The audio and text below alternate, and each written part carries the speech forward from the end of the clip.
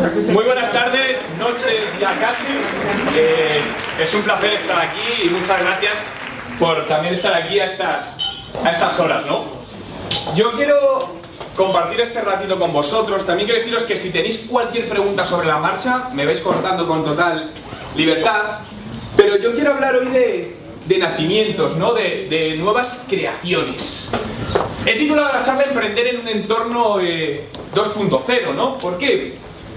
Porque estamos viviendo en una situación donde muchas veces nos sentimos como en una pecera donde no hay salida, ¿no? Cuyos lados son transparentes y al final vivimos ahí dentro, donde estamos, nos podemos sentir agobiados y muchas veces nos da miedo dar el paso, ¿no? Dar el paso porque sobre todo no sabemos qué hay ahí fuera. Pero muchas veces ahí fuera hay algo muchísimo mejor, otro entorno donde podemos nadar de una manera mucho más libre, mucho más cómoda, mucho más a gusto y evitar esa sensación muchas veces que seguro que os pasa que tenemos de agobio, de que nos falta aire o el medio en el que estamos viviendo, como que se está acabando el tiempo, ¿no?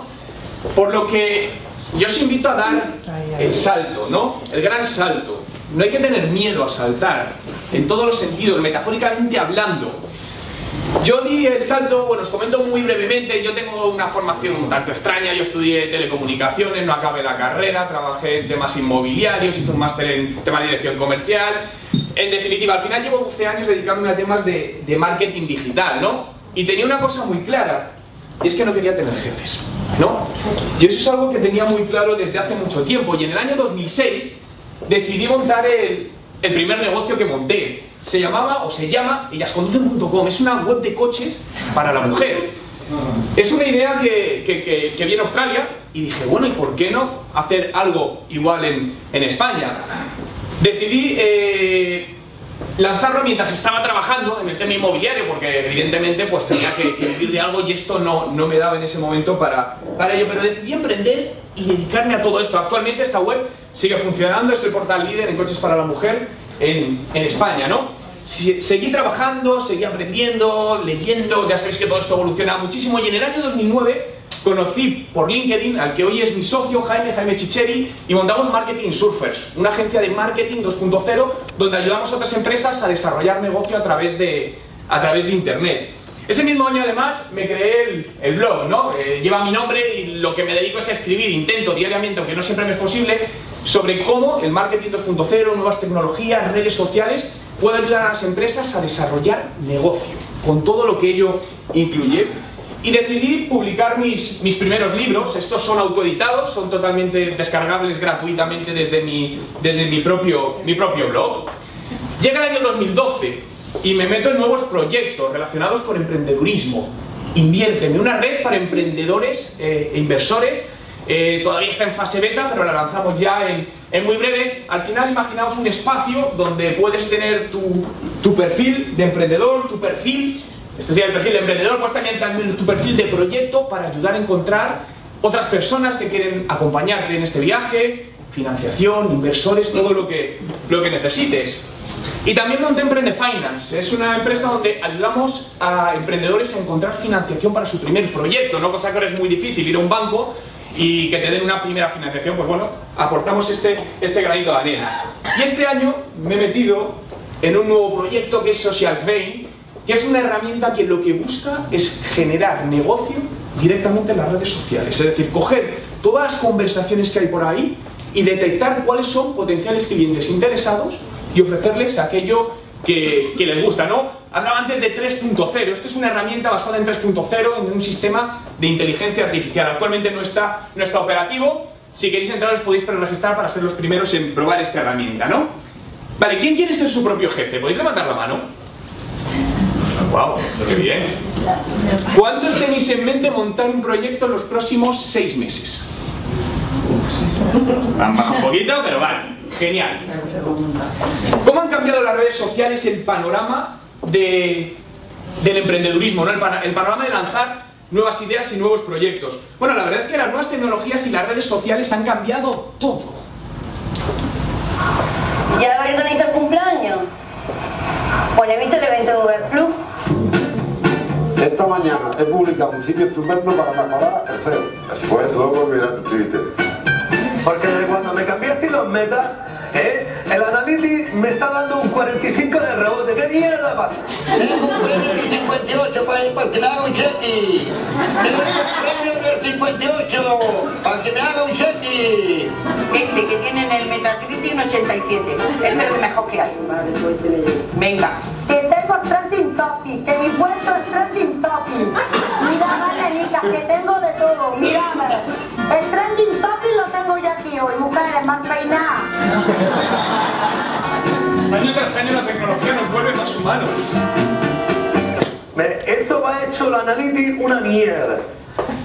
Bien, todo está cambiando absolutamente, ¿no? ¿Y por qué os contaba todo esto? Fijaos, aquí hago una especie de, resumen de todo. Porque quiero que veáis la comparación entre montar un proyecto hace 7 años y hoy. En el único proyecto donde necesité inversión real fue en este.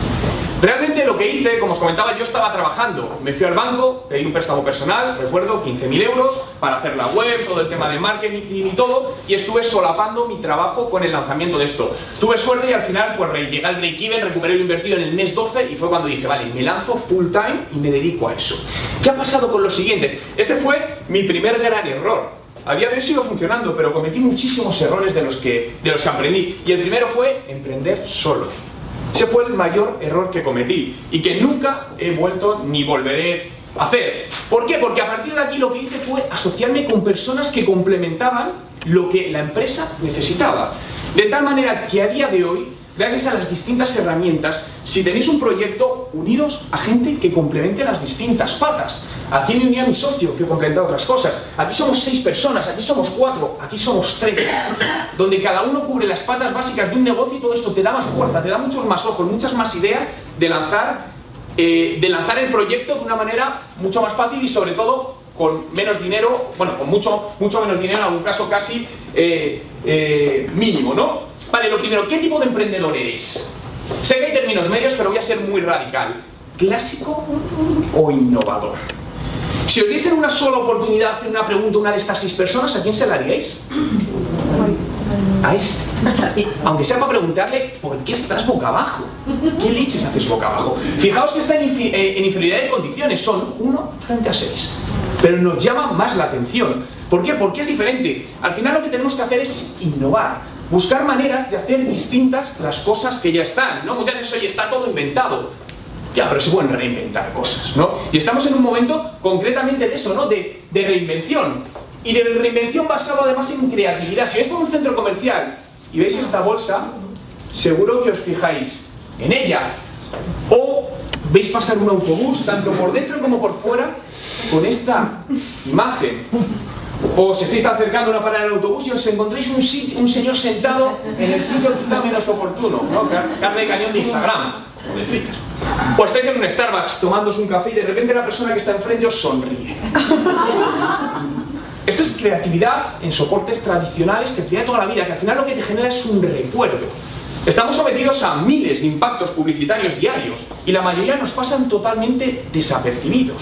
Pero de repente hay algo, me da lo mismo un anuncio de televisión, algo que ves en internet que se sale de la norma, que es lo que te hace encenderte la chispa y recordar eso, no hacer diferente. Seguro que recordáis esto, ¿por qué no nombramos vicepresidente a un chico de 16 años? Coca-Cola. ¿Recordáis esta campaña de Coca-Cola donde Coca-Cola quería llegar a un target muy concreto? ¿Y qué hizo? Vale, pues vamos a nombrar a un chico de 16 años que conecte con ese target y crearon anuncios como este.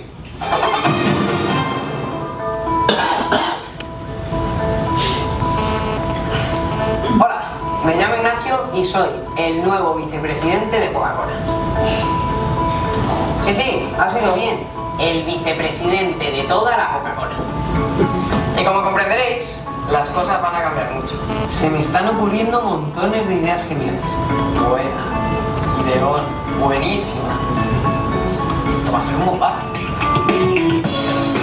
Esto es una revolución.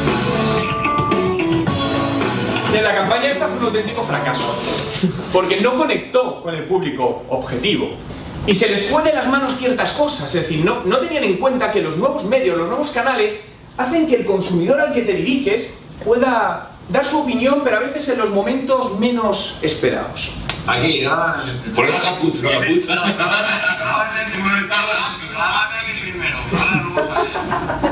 Buenas noches. Este vídeo está dirigido al vicepresidente ese de la Coca-Cola. Me parece muy bien que quieras darlo bajo a Coca-Cola, por el mismo precio. Vale, está bien. Quitando las curvas, sí, está bien. Pero las curvas, eso de que no servían para nada, no, es mentira todo. Las curvas servían para agarrar la botella.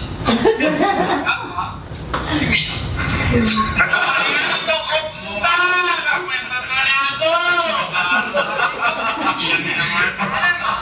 ¿Qué pasa? ¿Qué pasa? En cambio de con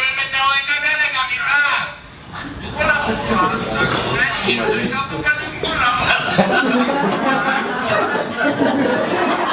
no te voy a empezar esto a ver. Eh, que si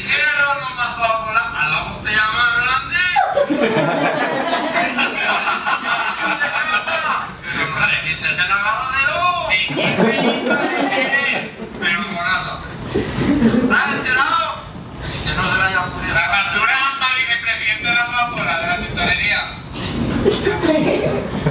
Han cambiado la manera en la que los consumidores reflejan la información y conectan con, con nosotros, ¿no? Por lo tanto, estamos evolucionando. Muchas veces no sabemos si evolucionamos, involucionamos o hacia dónde vamos, ¿no? Pero al final todos estamos en, en una constante eh, evolución. Y de repente, wow, tengo una idea, tengo una idea buenísima. Que esto nos pasa, además las ideas surgen en los momentos más, más inesperados. Lo primero, piensa en grande. Para hacer cosas grandes siempre hay que pensar en grande, ¿no? La frase está de ahí, piensa globalmente y actúa localmente. Siempre tenemos que pensar en grandes dimensiones, aunque siempre empecemos desde la parte más chiquitita, ¿no? Escoge bien a tus socios, esto es como un matrimonio. Es exactamente lo mismo. Tienes que tener una total confianza. Gran parte de las empresas desaparecen por discusiones entre los socios, no porque la empresa no funcione, por lo que es algo muy importante la selección. Y además, capta talento, rodéate de gente muy buena, muy buena que te complemente a ti. Al final cada uno sabemos de una cosa. Yo siempre digo que el 2.0 lo puedo equiparar con un gran puzzle cuyos cuatro lados son infinitos y cada uno de nosotros somos una piececita de ese puzzle. De tal manera que engranando esas piececitas vamos a conseguir esa llamada inteligencia colectiva o inteligencia eh, 2.0, ¿no? Vale, pero ¿qué es un emprendedor? Según, el, según eh, John Hawkins, el, el autor de la economía creativa, un emprendedor creativo es esa gente que usa la creatividad para liderar la riqueza que lleva dentro. Los emprendedores creativos piensan en términos de crear oportunidades, produciendo resultados y consiguiendo beneficios que conducen a crear sistemas y negocios que generan riqueza y les liberan de tiempo para su próxima gran idea. Al final, todo va a requerir montamos una idea y la idea puede funcionar, si funciona dará dinero y podemos volver a crear otra idea. ¿no? Al final es un proceso continuo, donde juega un papel fundamental cada día más la innovación. Pero la innovación debe cumplir tres requisitos imprescindibles. Primero, que el usuario lo quiera, que sea algo que, que en ese momento lo va a necesitar. Lo segundo, que sea posible con la tecnología que tenemos. Hay grandes ejemplos de fracasos en su momento que ahora están funcionando. ¿Os acordáis de Second Life? ¿Alguien usó Second Life? ¿Alguien se enganchó a Second Life? ¿Por qué no? Era la leche, ¿no? Eran como los Sims, unos muñequitos que en el año 2000 te creaban entornos virtuales y tú te creabas un avatar como tú y te movías. ¿Cuál era el problema? Que no era el momento. Es decir, teníamos conexiones de internet de 56 caras, estas que sonaban con el modem analógico, que teníamos teléfonos planos a partir de las 6 de la tarde, y tenías el muñequito moviéndose a una velocidad hiperlenta. No había manera. Lo mismo pasó con la realidad aumentada. Lleva 10 años inventada, pero claro, con los teléfonos móviles que teníamos en aquel momento no tenía ningún tipo de sentido. Por lo tanto, hay a veces que hay muy buenas ideas, pero hay que guardarlas en el cajón para más adelante. Y por último, si es viable en el entorno, en el momento en el que nos estamos, en el que nos estamos moviendo. Pero dentro de la innovación tenemos dos formas de innovar. Innovación cerrada, que yo tengo una idea y la voy a lanzar solo con mis recursos, en silencio, sin contárselo a nadie, no se hace una ropa. Es decir, ideas buenas hay a patadas. Si te quieren robar una idea, te la van a robar. Es decir, tú mañana lo tendrás algún día que comunicar, se ha montado algo. En ese mismo momento puede llegar otro grande, te lo coge, te lo fusila y te lo hace. No puedes evitarlo. Y de hecho, el valor no está en las ideas, está en las personas que hacen la idea. Si puede haber una buena idea con las personas no adecuadas y eso no lleva a nada. Puede haber una idea mediocre con personas excepcionales y eso sigue adelante. Por lo que al final lo que hace un proyecto realmente bueno y que siga hacia adelante, o el valor está en las personas que lo conforman y trabajan en él. Por lo tanto, decidimos más hacia la innovación abierta, donde busco conocimientos allá donde estén. Lo comparto, lo que quiero es llegar a la gente, llegar antes y mucho eh, mejor que no contándoselo a nadie. Y ahora esto de desaprender, no ha llegado la hora de desaprender, campañas publicitarias, se oye mucho esta frase, pero es cierto. Tenemos que volver a la escuela de desaprender intentar hacer un flashback mental de cuando íbamos, acordaros cuando teníais 10, 12 años y ibais al colegio, con vuestra mochila, vuestra carpeta forrada de los cantantes favoritos, de los actores, actrices más, más guapas, y que llegábamos a clase con esa inocencia, ¿no? No sabíamos absolutamente nada, tú llegabas ahí, no estabas contaminado por muchos factores. Tenemos que volver a ese estado mental, porque desde ese estado mental veremos las cosas desde un punto de vista muy diferente. Yo comparo este momento, toda la entrada de nuevas tecnologías, marketing 2.0, internet, como un gran tsunami digital. Un gran tsunami digital que ha arrasado con gran parte de los modelos de negocio tradicionales. Y solo las empresas, proyectos que sean capaces de adaptarse rápido sobrevivirán. ¿Cuántos de vosotros compráis un CD de música al mes? ¿Podéis levantar la mano? Si hago esta pregunta hace 10 años, levantaríamos muchos la mano. Claro, pero siguen vendiendo los CDs. ¿Y qué hago yo con eso? ¿No meto en el teléfono? Me voy al portátil que tampoco tiene para... No tiene ningún tipo de sentido. Es el claro ejemplo de no adaptación. ¿Cuántos tenéis Spotify de pago? 800.000 personas en España pagan 9 euros y pico por tener toda la música que quieren en su teléfono móvil. Y tu teléfono móvil va contigo a todas partes. Cuando vas al gimnasio, cuando vas a pasear, cuando vas en el coche, cuando estás en el trabajo. ¿Queremos pagar por la música? Sí. Lo que no quiero es comprar un disco de 20 canciones cuando me gusta una. O dármelo en un soporte donde a día de hoy no lo voy a utilizar. Por lo que es importante reconvertir todas estas ideas, romper los modelos de negocio tradicionales y readaptarnos absolutamente a todo. ¿Conocéis la estatua de Charles Latroff en Latroff University? Mira. Es una estatua normal. Tiene su pollete y el señor de encima. Pero solo hay una diferencia, una única diferencia. Un giro de 180 grados que la hace distinta. Si esta estatua estuviese como el resto de las estatuas, no se fija en ella ni el que la creó. Pero ese pequeño giro hace que sea distinta, que te fijes en ella. Esta es la idea, dar un único giro, un único giro de 180 grados que permita al proyecto, a la idea, a lo que queráis hacer, que sea diferente al resto de cosas. Lo mismo sucede con este tipo de, de estatuas o esculturas, como podemos ver ahí el señor sentado al revés en, en su caballo colgado del techo, o una escultura acuática, ¿no? que transmite cierto aire de, de misticismo. Señor saliendo ahí, el río con la mano, un poco extraño, ¿no? O la gente subiendo, andando hacia el cielo por una especie de, de barra metálica. Al final tenemos que cambiar los esque por los hay. Es que no puedo porque no tengo tiempo. Es que no puedo porque no tengo dinero. Es que, es que no. Hay que. Tienes que hacerlo. Olvídate de los es. Hay que hacerlo. Luego veremos el cómo vamos a hacerlo. ¿Os acordáis de este señor? MacGyver. Era un tipo capaz de hacer mucho con poco. Este tío le encerraban en medio de la prisión de Alcatraz. Le daban un boli y una goma y el tío se escapaba y no está diciendo, uy, como no tengo una radial y un barco con motor en la puerta, yo de aquí no salgo. Da lo mismo, se buscaba la vida con esas dos cosas y salía de ahí. Por lo tanto, lo que tenéis que hacer es que convertiros en pequeños MacGyvers empresariales, donde con poco somos capaces de hacer, de hacer mucho, y estos, el equipo A.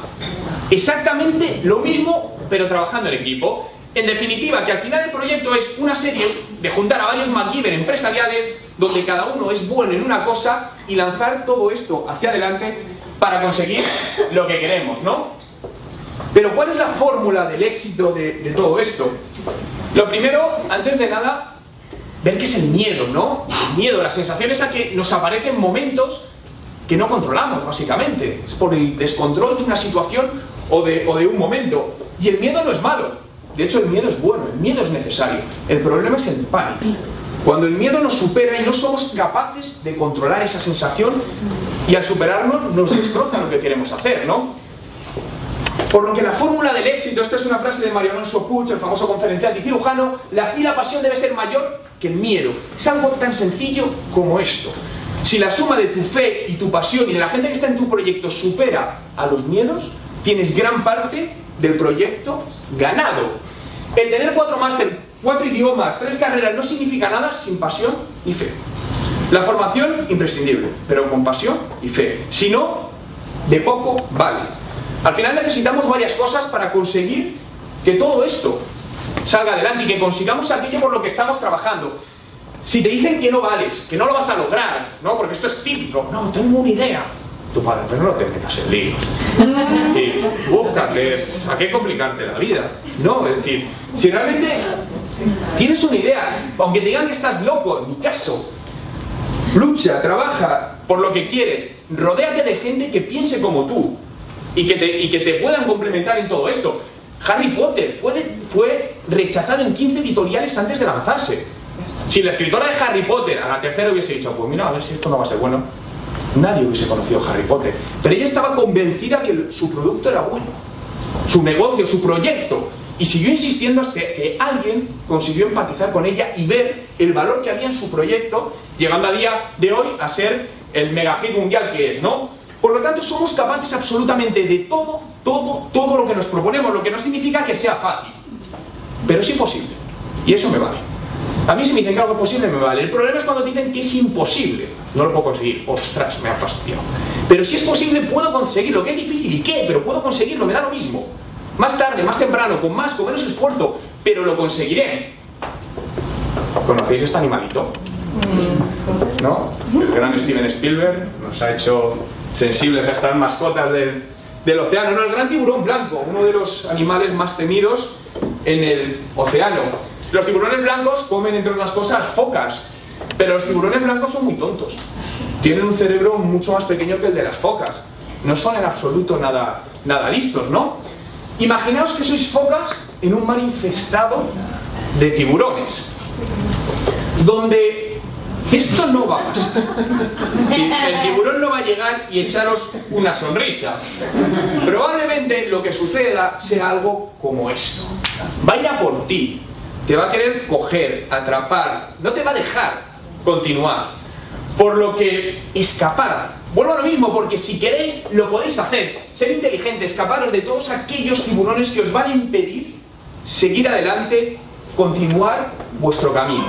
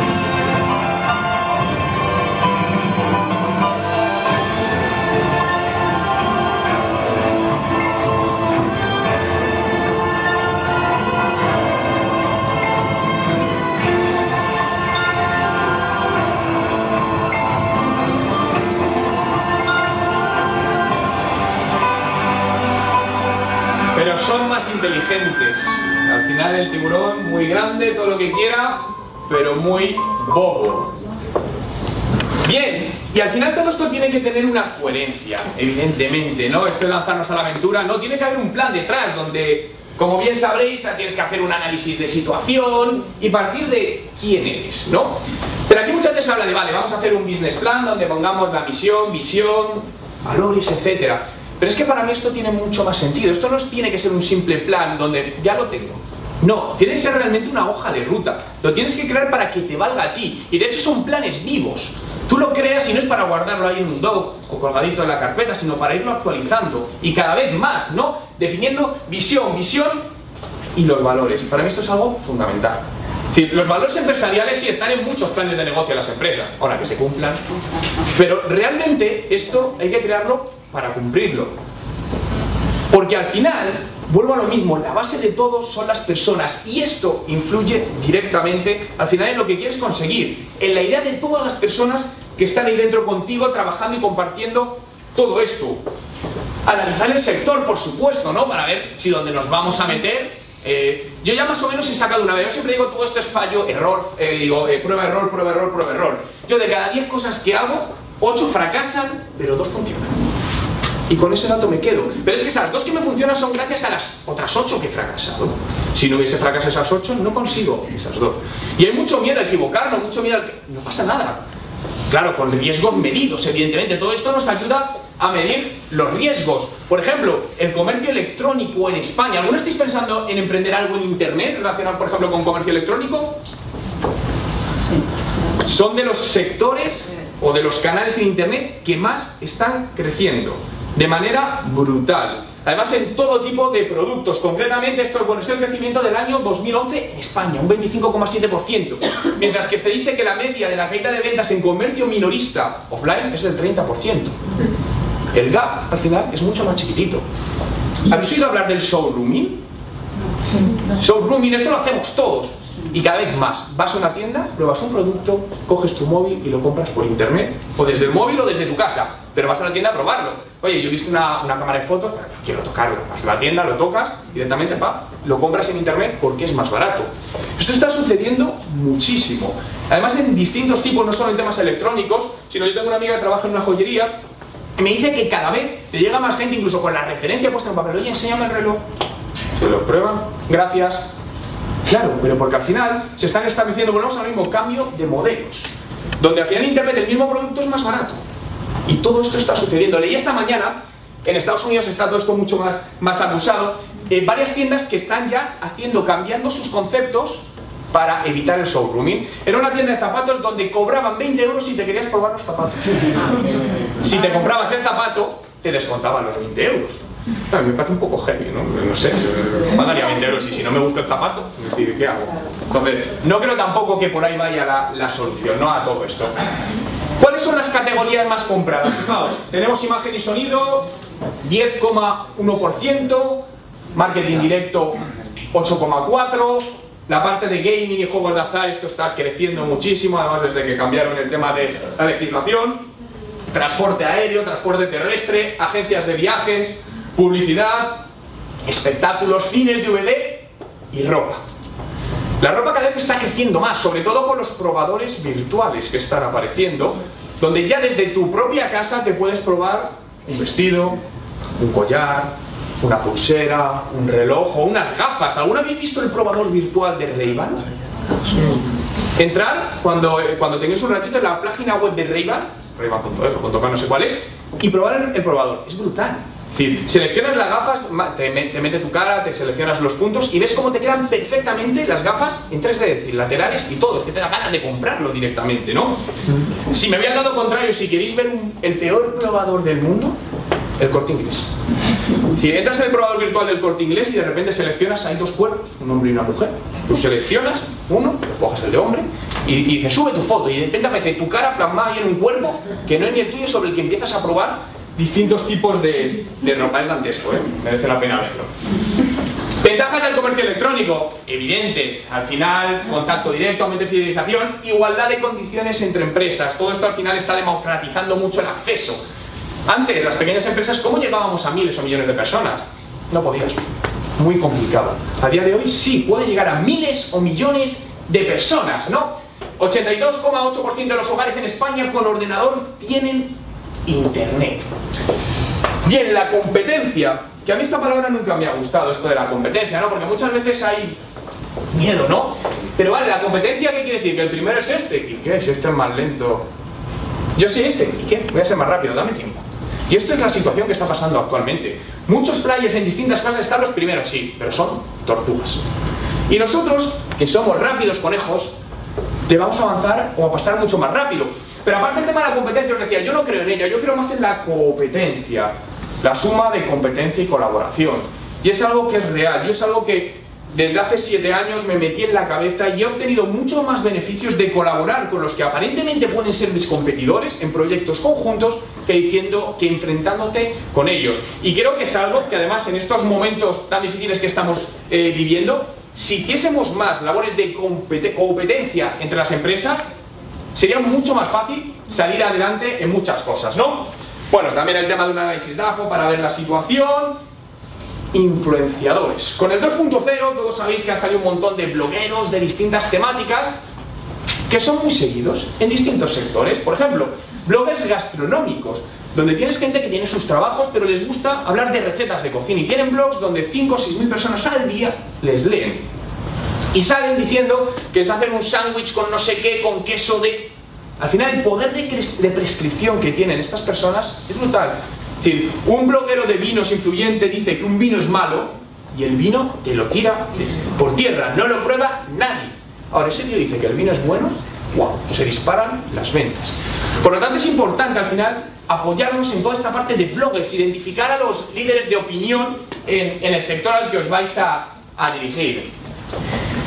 ¿Qué dicen de nosotros? ¿no? Este es el principal miedo. Uy, las redes sociales, qué peligro, a ver si hablan más de mí y me hacen daño a mi negocio, ¿no? El peligro está en no estar, porque no te enteras de lo que van a estar diciendo de ti. ¿Conocéis unos apartamentos que se llaman Goya 75? A partir de hoy no lo vais a olvidar. Me encanta este ejemplo, siempre lo cuento porque es que es tan gráfico. Hoteles. Cuando vais a coger un hotel, ¿qué hacéis? Vamos a Google, buscamos el nombre del hotel y vemos opiniones, ¿no? Coger un hotel, un apartamento sin ver opiniones, ya es casi el suicidio masivo. Bien, pues entonces imaginaos que en algún sitio vamos a venir a Madrid y hemos visto apartamentos Goya 75. Pues yo iría a Google, pondría apartamentos Goya 75. Primeros puestos de resultados son la parte de pago de Google AdWords. Perfecto, bajo un poquito y tengo la web de los apartamentos, que puedo mirarla, no digo que no, pero a continuación tenemos a nuestro amigo TripAdvisor, el amigo de los hoteles. Bien, clicamos en TripAdvisor y entramos en la web de apartamentos Goya 75 y empezamos a leer opiniones. Excelente alternativa en el mejor barrio de Madrid. 23 de abril del 2013. Asqueroso.com 25 de mayo del 2012 Colchones, canalización de agua falta presión el, el, agua sale sucia, cortinas sucias. Penoso, dan asco. 4 de enero del 2012 Muy viejos, en mal estado. Aquí TripAdvisor lo hace muy bien Porque te dice Los viajeros hablan maravillas de estos hoteles en Madrid. Toda tu competencia bien valorada Pero tú insistes por ir a estos apartamentos Y seguimos la peor experiencia de mi vida. Metemos factores emocionales. ¿Algún iríais a dormir aquí? ¿Sabéis esto es cierto? Tampoco, pero no más. Si esto directamente está afectando a la cuenta de resultados de esta empresa, porque lo que acabamos de hacer lo harán más personas. Y teniendo, salvo en un, en un sitio donde haya monopolio de una empresa, que ya cada vez es menos, y después será por apartamentos en la zona. Claro, no sabemos si es verdad, pero el 78% de las personas nos fiamos de opiniones de otros en Internet que no conocemos. No es vuestro hermano, vuestro amigo, no conocemos. En este caso os confirmo que es verdad, conocí una persona que dormía aquí dentro. Lo que sucede es que la última reforma fue por los años 60. Imaginaos cómo está eso dentro. Claro, ¿dónde está la solución aquí? Reforma tu negocio. Si las redes sociales no son malas, no hacen daño, no muerden. Es tu negocio que muerde, o lo que hay ahí en él. Entonces, o reforma tu negocio o conviértelo en hotel temático del terror, que a lo mejor te sale más barato y le das otro, otro punto de vista, ¿no? Este es otro caso muy bueno, FedEx. Diciembre 2011, plenas navidades, Estados Unidos. Imaginaos que compráis una televisión, una televisión y os la van a enviar a casa y cuando os llega, os llega rota. Da la casualidad de que este chico le llegó rota, pero cuando se le entregaron, él estaba en casa, pero nadie llamó a su timbre. Esta es una grabación, tiene audio de la cámara de seguridad del chico, y lo que podemos ver es al repartidor de FedEx cogiendo la televisión y haciendo lo más parecido a una entrega inmediata. Ahí tienes tu televisor. Imaginaos, pleno diciembre 2011, corrió como la pólvora este vídeo por internet, afectando evidentemente a las ventas en ese momento de FedEx, tanto a nivel de empresa como a nivel de, de, consumidor. Para un poco frenar todo esto, salió el presidente de, de FedEx a Estados Unidos en un vídeo pidiendo disculpas, que el chico había sido despedido, etcétera, etcétera, etcétera, etcétera. Bien, pero fijaos el poder de las redes sociales. Empresas tan fuertes como FedEx llegan a sube un vídeo y monta una enorme a nivel mundial para esta empresa, por lo que tenemos que saber constantemente qué dicen de nosotros, ¿no? Y las redes sociales, por supuesto, nos van a ayudar un montón, pero bien planificado, las redes sociales son un arma de doble filo, ¿no? Y hay una tendencia, vamos a entrar en Facebook y en Twitter, ¿para qué? No sé, está en todo el mundo. ¿Consigue fans? ¿Cuántos? Millones. Muy bien, enhorabuena, un abrazo. ¿Para qué quieres fans? ¿O para qué quieres followers? No vale absolutamente para nada. Lo que tenemos que tener claro al final es cómo vamos a utilizar todas estas herramientas para ayudarnos en el día a día de nuestro negocio. Para lo primero tenemos que definir unos objetivos. ¿Para qué? ¿Por estar? No, para eso no es eso. ¿Para qué? Branding, presencia en la red. Oye, pues queremos que nuestra marca se empiece a escuchar porque no es conocida, etcétera, etcétera. Bien, puede ser un objetivo, generar ruido en torno a nuestra marca.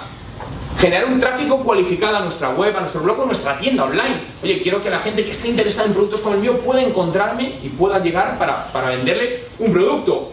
Captación de leads. Para mí esto es lo mejor de las redes sociales. Lead, datos de contacto de un potencial cliente. Nombre e email. Que yo no quiero tener 50.000 fans en la página de Facebook. Yo quiero tener los 50.000 emails y nombres de esos tíos. ¿Por qué? Porque yo tengo mi página de Facebook con 2 millones de fans y mañana Facebook te la borra. ¿Por qué? Porque le da la gana, literal. Facebook, de hecho, en la política empresarial lo pone. Se reserva el derecho a eliminar cualquier página de fans sin dar ningún tipo de explicación. Por lo que al final lo que no podemos hacer es ceder en manos de un tercero cierto potencial de, de nuestro negocio. Pues intentamos que todos nos dejen al final sus datos de contacto o como canal de atención al cliente. ¿Habéis llamado alguna vez por teléfono a Movistar? ¿Qué tal? Sí, completamente. ¿Habéis probado alguno el servicio de atención al cliente de Movistar vía Twitter? Maravilloso. Bueno también, ¿no? Maravilloso. Te olvidas del teléfono. Si al final las redes sociales, Twitter es un gran canal de atención al cliente. Para tiendas online, igual. Las tiendas online, algo que no entiendo. Imaginaos que entráis en una tienda física y no hay nadie. ¿Qué harías? ¿Te sientes raro? ¿Quién me ayuda? Joder, y las tiendas online, ¿por qué no hay nadie?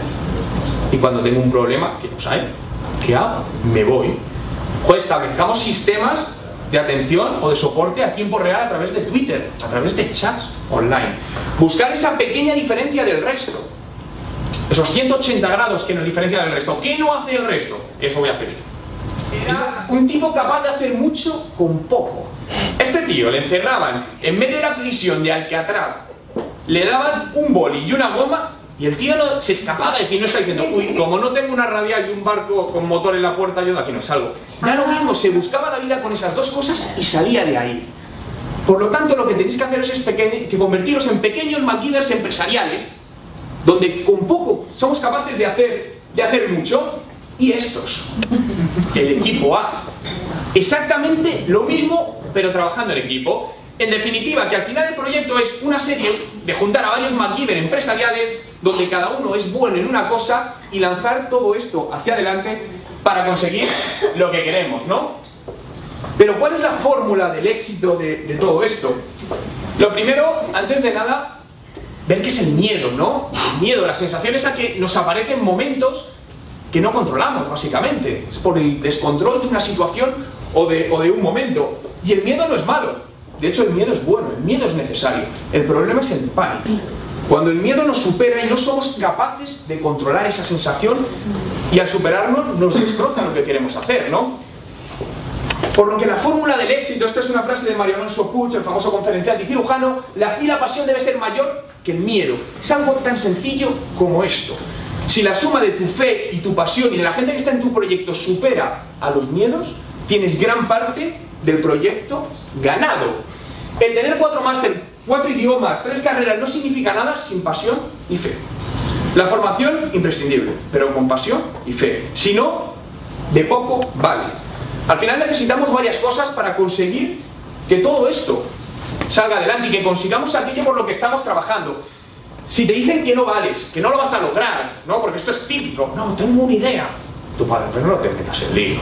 Es decir, búscate, ¿a qué complicarte la vida? No, es decir, si realmente tienes una idea, aunque te digan que estás loco, en mi caso, lucha, trabaja por lo que quieres, rodéate de gente que piense como tú y que te, y que te puedan complementar en todo esto. Harry Potter fue, de- fue rechazado en 15 editoriales antes de lanzarse. Si la escritora de Harry Potter a la tercera hubiese dicho, pues mira, a ver si esto no va a ser bueno, nadie hubiese conocido Harry Potter. Pero ella estaba convencida que su producto era bueno, su negocio, su proyecto. Y siguió insistiendo hasta que alguien consiguió empatizar con ella y ver el valor que había en su proyecto, llegando a día de hoy a ser el mega hit mundial que es, ¿no? Por lo tanto, somos capaces absolutamente de todo, todo, todo lo que nos proponemos, lo que no significa que sea fácil. pero es imposible. Y eso me vale. A mí si me dicen que algo es posible, me vale. El problema es cuando dicen que es imposible. No lo puedo conseguir. Ostras, me ha fastidiado. Pero si es posible, puedo conseguirlo. Que es difícil y qué, pero puedo conseguirlo, me da lo mismo. Más tarde, más temprano, con más, con menos esfuerzo, pero lo conseguiré. ¿Conocéis este animalito? ¿No? El gran Steven Spielberg nos ha hecho sensibles a estas mascotas del, del océano. No, el gran tiburón blanco, uno de los animales más temidos en el océano. Los tiburones blancos comen, entre otras cosas, focas. Pero los tiburones blancos son muy tontos. Tienen un cerebro mucho más pequeño que el de las focas. No son en absoluto nada, nada listos, ¿no?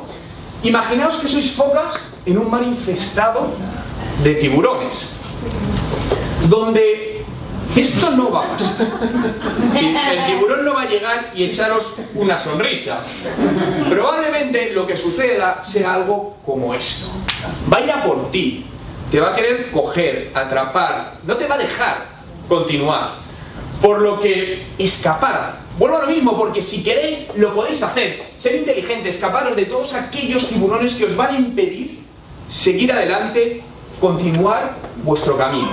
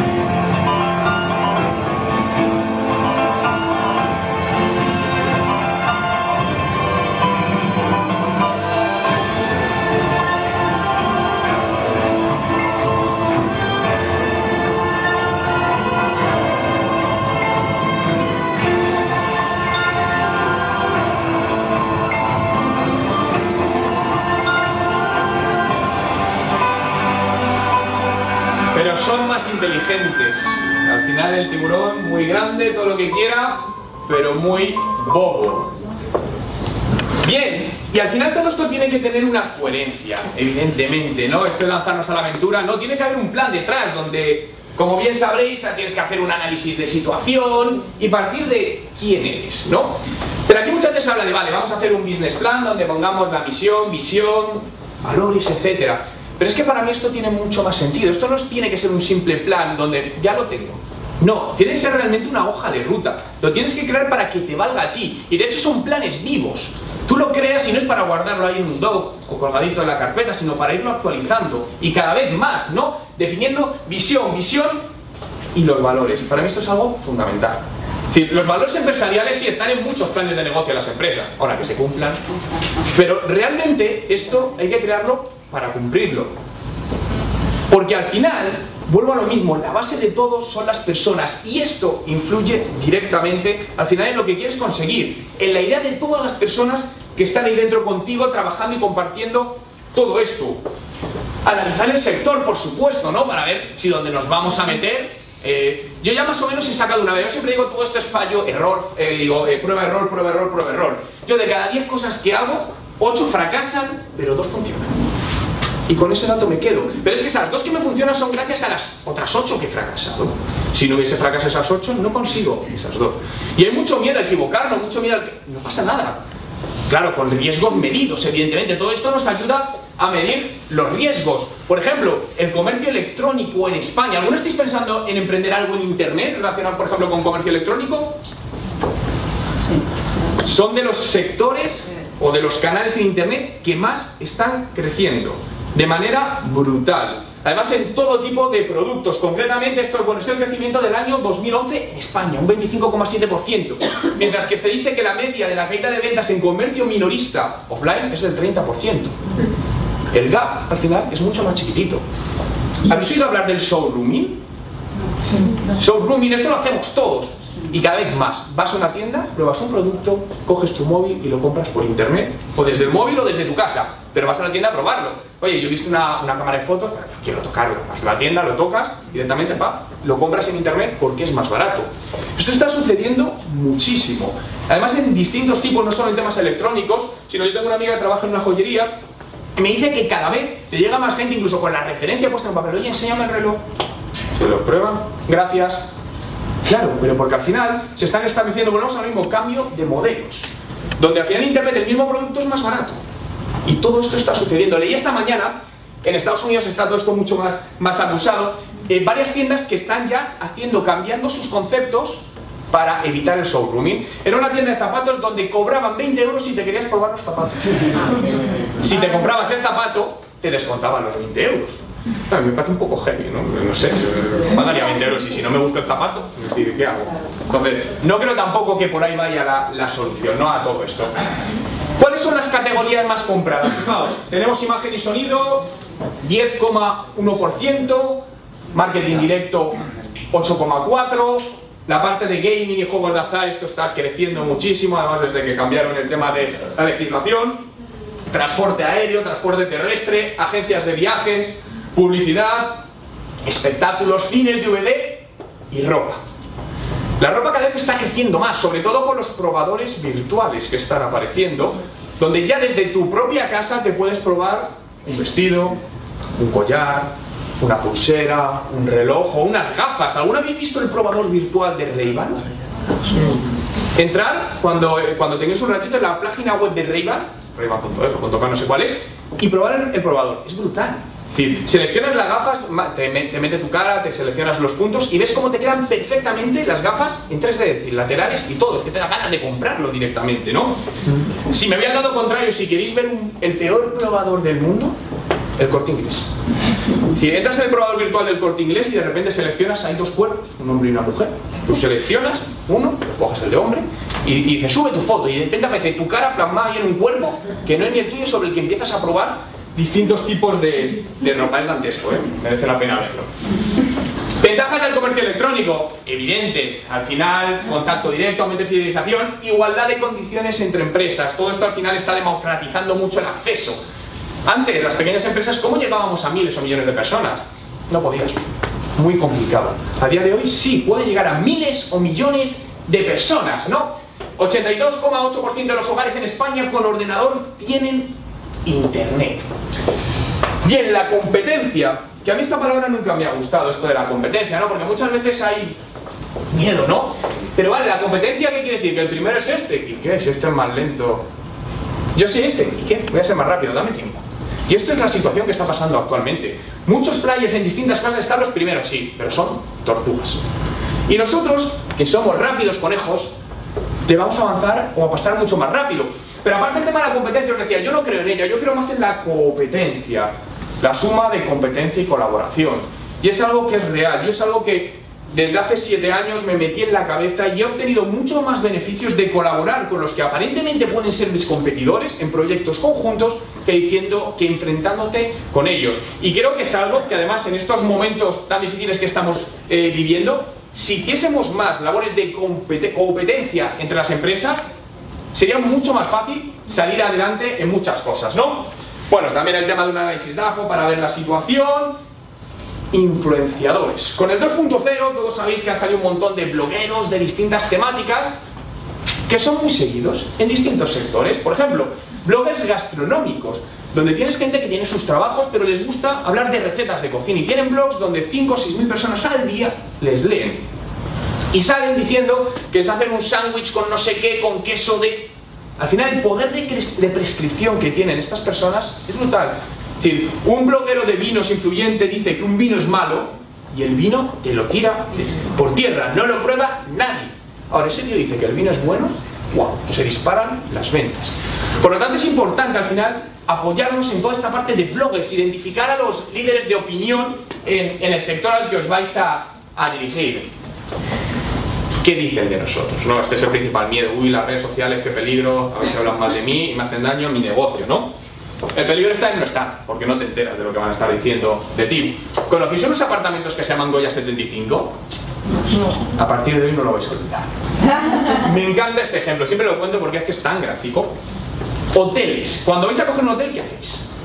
Vamos a Google, buscamos el nombre del hotel y vemos opiniones, ¿no? Coger un hotel, un apartamento sin ver opiniones ya es casi el suicidio Masivo. Bien, pues entonces imaginaos que en algún sitio vamos a venir a Madrid y hemos visto apartamentos Goya 75. Pues yo iría a Google, pondría apartamentos Goya 75. Primeros puestos de resultados son la parte de pago de Google AdWords. Perfecto, bajo un poquito y tengo la web de los apartamentos, que puedo mirarla, no digo que no, pero a continuación tenemos a nuestro amigo TripAdvisor, el amigo de los hoteles. Bien, clicamos en TripAdvisor y entramos en la web de apartamentos Goya 75 y empezamos a leer opiniones. Excelente alternativa en el mejor barrio de Madrid. 23 de abril del 2013. Asqueroso.com 25 de mayo del 2012 Colchones, canalización de agua a alta presión el, el agua sale sucia, cortinas sucias. Penoso, dan asco 4 de enero del 2012 Muy viejos, en mal estado. Aquí TripAdvisor lo hace muy bien Porque te dice Los viajeros hablan maravillas de estos hoteles en Madrid. Toda tu competencia bien valorada Pero tú insistes por ir a estos apartamentos Y seguimos la peor experiencia de mi vida. Metemos factores emocionales. ¿Algún iréis a dormir aquí? ¿Sabéis esto es cierto? Tampoco, pero no más. Si esto directamente está afectando a la cuenta de resultados de esta empresa, porque lo que acabamos de hacer lo harán más personas. Y teniendo, salvo en un, en un sitio donde haya monopolio de una empresa, que ya cada vez es menos, pues será por apartamentos en la zona. Claro, no sabemos si es verdad, pero el 78% de las personas nos fiamos de opiniones de otros en Internet que no conocemos. No es vuestro hermano, vuestro amigo, no conocemos. En este caso os confirmo que es verdad, conocí una persona que durmió aquí dentro. Lo que sucede es que la última reforma fue por los años 60. Imaginaos cómo está eso dentro. Claro, ¿dónde está la solución aquí? Reforma tu negocio. Si las redes sociales no son malas, no hacen daño, no muerden. Es tu negocio que muerde, o lo que hay ahí en él. Entonces, o reforma tu negocio o conviértelo en hotel temático del terror, que a lo mejor te sale más barato y le das otro, otro punto de vista, ¿no? Este es otro caso muy bueno, FedEx. Diciembre 2011, plenas navidades, Estados Unidos. Imaginaos que compráis una televisión, una televisión y os la van a enviar a casa y cuando os llega, os llega rota. Da la casualidad de que este chico le llegó rota, pero cuando se le entregaron, él estaba en casa, pero nadie llamó a su timbre. Esta es una grabación, tiene audio de la cámara de seguridad del chico, y lo que podemos ver es al repartidor de FedEx cogiendo la televisión y haciendo lo más parecido a una entrega inmediata. Ahí tienes tu televisor. Imaginaos, pleno diciembre 2011, corrió como la pólvora este vídeo por internet, afectando evidentemente a las ventas en ese momento de FedEx, tanto a nivel de empresa como a nivel de, de- de consumidor. Para un poco frenar todo esto, salió el presidente de, de FedEx a Estados Unidos en un vídeo pidiendo disculpas, que el chico había sido despedido, etcétera, etcétera, etcétera, etcétera. Bien, pero fijaos el poder de las redes sociales. Empresas tan fuertes como FedEx llegan a sube un vídeo y monta una enorme a nivel mundial para esta empresa, por lo que tenemos que saber constantemente qué dicen de nosotros, ¿no? Y las redes sociales, por supuesto, nos van a ayudar un montón, pero bien planificado, las redes sociales son un arma de doble filo, ¿no? Y hay una tendencia, vamos a entrar en Facebook y en Twitter, ¿para qué? No sé, está en todo el mundo. Consigue fans, ¿cuántos? Millones. Pues muy bien, enhorabuena, un abrazo. ¿Para qué quieres fans? ¿O para qué quieres followers? no vale absolutamente para nada. Lo que tenemos que tener claro al final es cómo vamos a utilizar todas estas herramientas para ayudarnos en el día a día de, de nuestro negocio. Para lo primero tenemos que definir unos objetivos. ¿Para qué? ¿Por estar? No, para eso no estás. ¿Para qué? Branding, presencia en la red. Oye, pues queremos que nuestra marca se empiece a escuchar porque no es conocida, etcétera, etcétera. Bien, puede ser un objetivo, generar ruido en torno a nuestra marca. Generar un tráfico cualificado a nuestra web, a nuestro blog o a nuestra tienda online. Oye, quiero que la gente que esté interesada en productos como el mío pueda encontrarme y pueda llegar para, para venderle un producto. Captación de leads. Para mí esto es lo mejor de las redes sociales. Lead, datos de contacto de un potencial cliente. Nombre e email.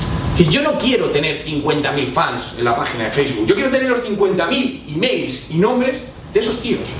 ¿Por qué? Porque yo tengo mi página de Facebook con 2 millones de fans y mañana Facebook te la borra. ¿Por qué? Porque le da la gana, literal. Facebook, de hecho, en la política privacidad lo pone, se reserva el derecho a eliminar cualquier página de fans sin dar ningún tipo de explicación. Por lo que al final lo que no podemos hacer es ceder en manos de un tercero cierto potencial de, de nuestro negocio. Pues intentamos que todos nos dejen al final sus datos de contacto o como canal de atención al cliente. ¿Habéis llamado alguna vez por teléfono a Movistar? ¿Qué tal? Sí. ¿Habéis probado alguno el servicio de atención al cliente de Movistar vía Twitter? Maravilloso. Bueno también, ¿no? Maravilloso. te olvidas del teléfono. Decir, al final las redes sociales, Twitter es un gran canal de atención al cliente. Para tiendas online, igual. Las tiendas online, algo que no entiendo. Imaginaos que entráis en una tienda física y no hay nadie. ¿Qué harías? ¿Te sientes raro? ¿Quién me ayuda? Joder, y las tiendas online, ¿por qué no hay nadie? Y cuando tengo un problema, que no hay, ¿qué hago? Me voy. Joder, establezcamos sistemas de atención o de soporte a tiempo real a través de Twitter, a través de chats online. Buscar esa pequeña diferencia del resto. Esos 180 grados que nos diferencian del resto. ¿Qué no hace el resto? Eso voy a hacer.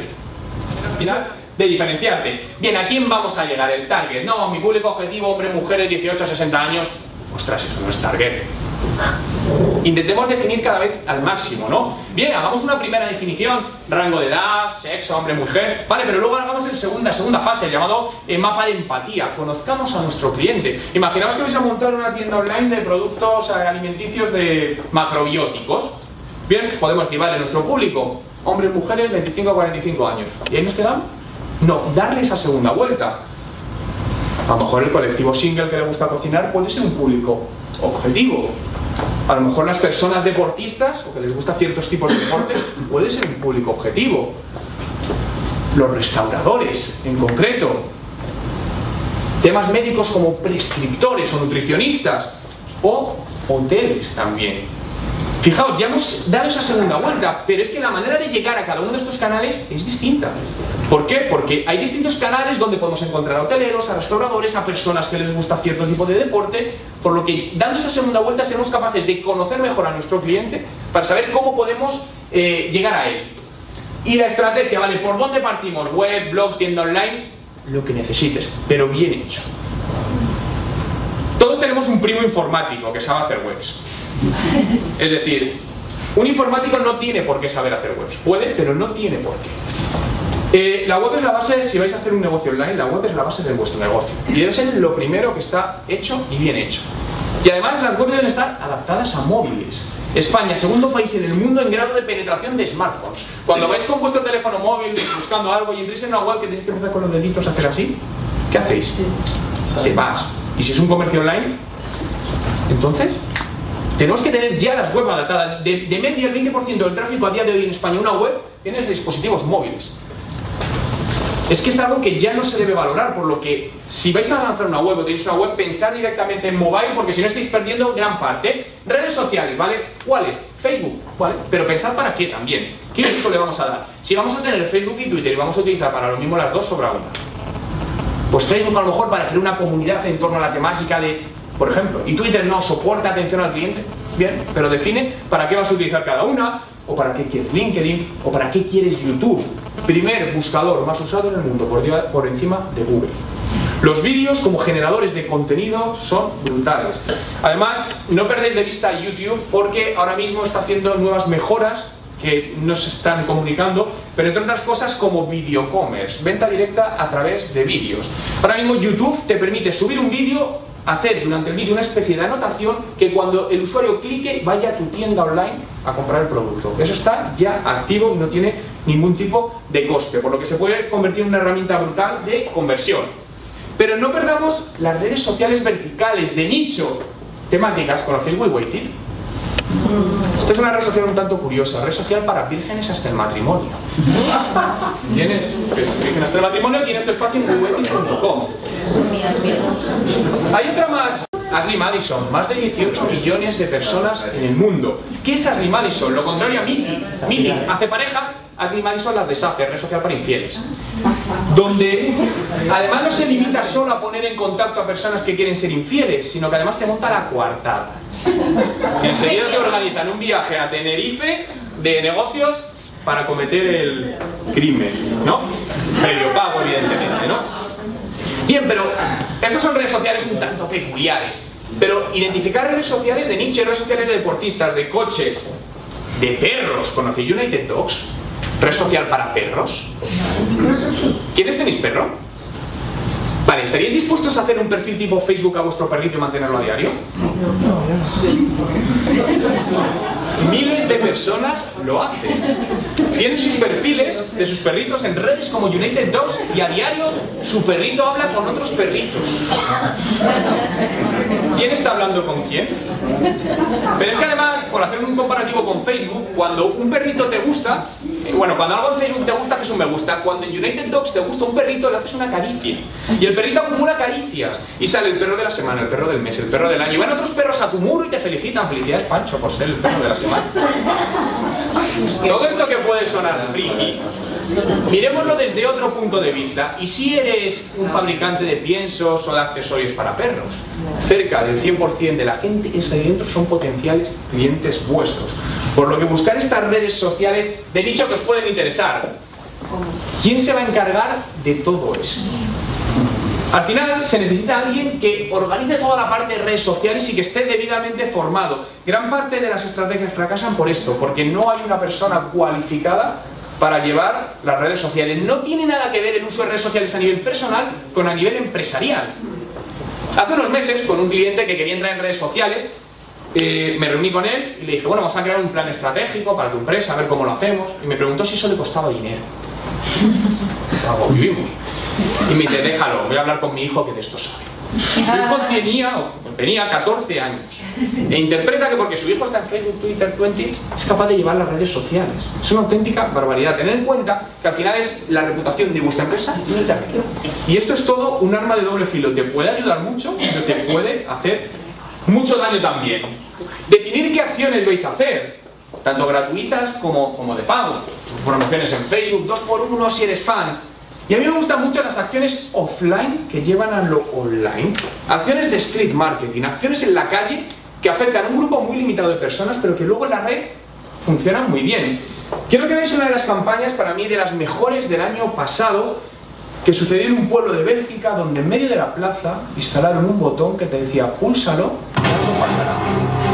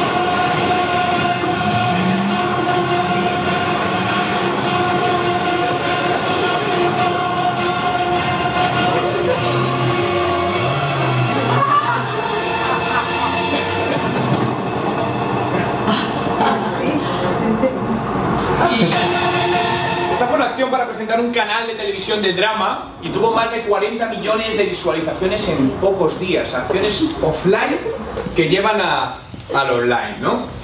La parte de, por ejemplo, de Facebook Ads, de los anuncios de Facebook, esta es una de las herramientas publicitarias más potentes que hay a día de hoy por la capacidad de segmentación que tienen, donde puedes hacer campañas de micronicho, llegando a nichos muy concretos, segmentando por gustos, intereses y dos millones de cosas. Cada vez además están haciendo una segmentación mucho más cerrada. La parte de Google AdWords, ¿no? los anuncios de pago, los que aparecen arriba o a la derecha, que estos pues siguen funcionando bien para selección de palabras clave, y el email marketing. Se oye que el email marketing ha muerto, esto sigue funcionando genial. La base del email marketing es una base de datos bien segmentada. Claro, si no tienes una base de datos bien hecha, pero al final, si vas creando una buena base de datos, sobre todo en e-commerce, el email marketing convierte muy muy bien, evitando evidentemente el llamado spam. No se trata de enviar de manera masiva a ver si pillamos a alguien, ¿no? Esto no es matar moscas a cañonazos, sino intentar cerrar el arco lo más posible. y medir. Si no medimos, no sabemos si algo funciona o no funciona, si una inversión es rentable o no. Por lo que establecer distintos tipos de, métricas. Aquí dejo algunos ejemplos clasificados, por ejemplo, por temas de branding, donde podemos meter menciones positivas, negativas, temas de influenciadores, actividad, número de visitas a la web, al blog, tiempo en la página, tasa de rebote, número de usuarios, visibilidad, influencia o temas de, de ROI, ¿no?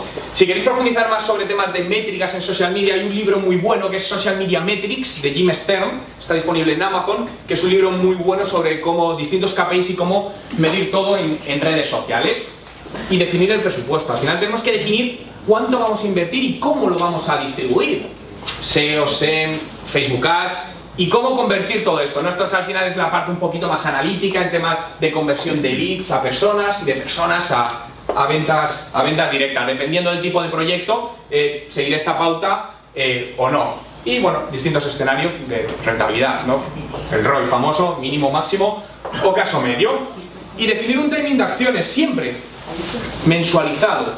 ¿Por qué? Dependiendo de la estacionalidad de vuestro negocio. Hay negocios más estacionales o con ciertos valles o ciertos picos, por lo que definirlo y en función de eso decidir cómo debe ser el vuestro. Pero luego hay negocios curiosos, ¿no? Negocios curiosos que además funcionan. Quiero contaros uno que descubrí en el blog de Miguel Ángel Acera, el cual os lo recomiendo seguir, donde habla de temas también de marketing 2.0 muy interesantes, y se llama Regalos de Mierda. Regalos de mierda, leo literalmente el eslogan, regala una mierda a sus conocidos. Esta es una captura de la web, la parte de arriba, regalosdemierda.com, un puñado, dos puñados, tres puñados, cuatro puñados. Para una broma, para una venganza, porque se lo merece. Desde regalosdemierda.com le damos la oportunidad de realizar sus deseos envi- enviando mierdas de bisonte, vaca, caballo gallina 100% ecológicas recogidas una a una, personalizadas en su cajita y enviadas con su tarjetita con texto personalizado. Mierda de bisonte edición especial Vuelta a España. El puñado a 6 euros. Pero claro, ¿qué es un puñado? Esta es esta es la pregunta, ¿no? Ellos han definido el puñado como la cantidad de mierda que se puede coger con las dos manos juntas en forma de cuchara. Entonces a partir de ahí ya tenemos la métrica. Siento la foto, pero esto es lo que sería un puñado de mierda de, vaca a 5 a cinco euros. ¿Cómo se envía? Claro, porque esto tiene la, parte logística es importante. Todos los pedidos se envían en una caja con la mierda en el interior en un tupper totalmente hermético para que el producto no pierda nada de su olor. Tiene que llegar evidentemente en perfecto estado. Ahí te llega el regalito de. Se adjunta además la tarjeta donde se imprimirá un texto que nos indique, junto con su pedido, tiempo de llegada de 24 horas a 5 días, incluso puedes hacerlo con adelantado si le quieres dar una sorpresita eh, a alguien, ¿no? Esto salió de una idea tomando copas de unos chicos que al final tienen, en su familia tienen distintas eh, ganaderías y todo esto y reciclan la mierda esta y dicen que están creciendo en ventas. Al final, oye, negocios hay por todos lados. ¿Os suena para Jason? ¿No? ¿Y si os digo esto? Gangnam Style. Este señor, ¿no? El vídeo más visto de YouTube en la historia. Esta es una captura de esta mañana. Casi 1.600 millones de visualizaciones. Al final una persona que consiguió, gracias a la viralidad, el 2.0 y las redes sociales, llegar a darle la vuelta al mundo un montón de veces. Pero ¿dónde está el valor de todo esto? Fijaos, vuelvo al tema musical. Cuando suben un vídeo de música, normalmente ¿qué hacen? Copyright. No lo toques, no lo miren, no lo cojas, sino que pagas. Él no, él dice, cogerlo, hacer con él lo que os dé la gana. Y la gente empezó a hacer vídeos absurdos con la canción. Este fue un aprovechando el momento coyuntural del EC Homo. 오빤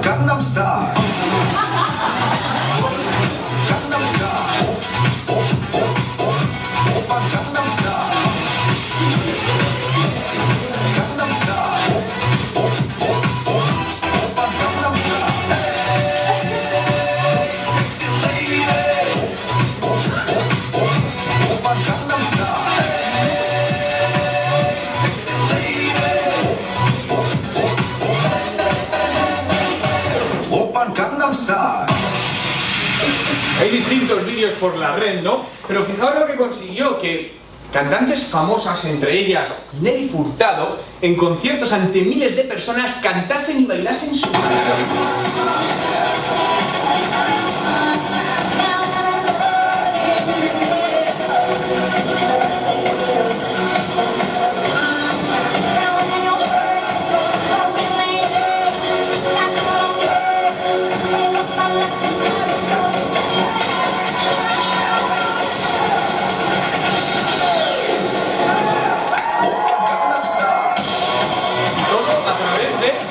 Sociales, Britney Spears en programas de prime time, también bailando el Gangnam Style.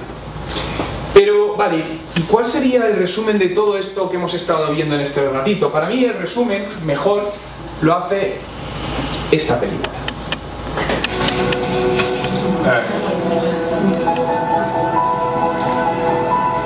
Don't ever let somebody tell you you can't do something. Not even me. Alright?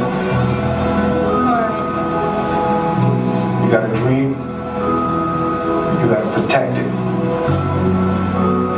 People can't do something themselves, they wanna tell you you can't do it.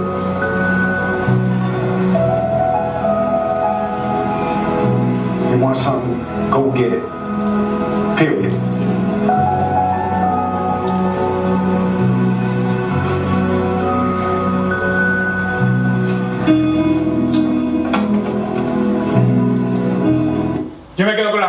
Si quieres algo, ve y consíguelo. Muchísimas gracias.